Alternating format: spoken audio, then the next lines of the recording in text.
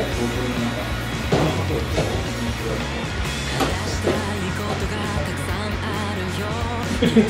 白い。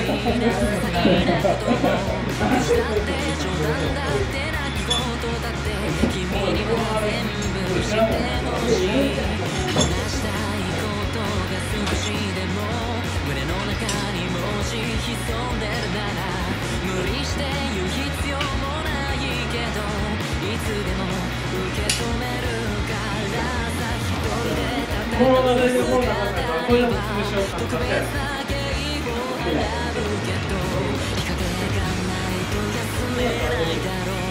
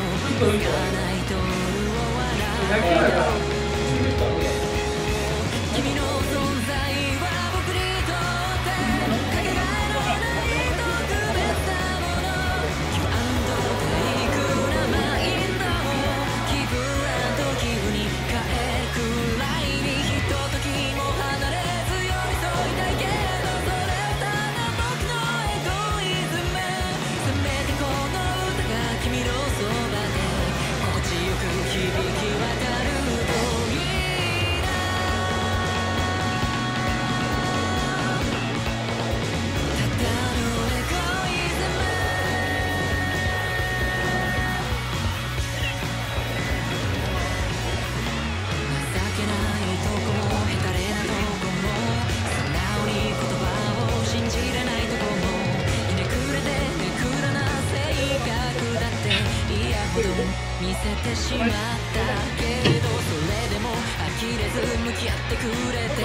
私の居場所ですって断言した一言で報われるなんて胸が締め付けられていたいな僕の存在が君にとってこれからも居場所でありますように大したことはできないけど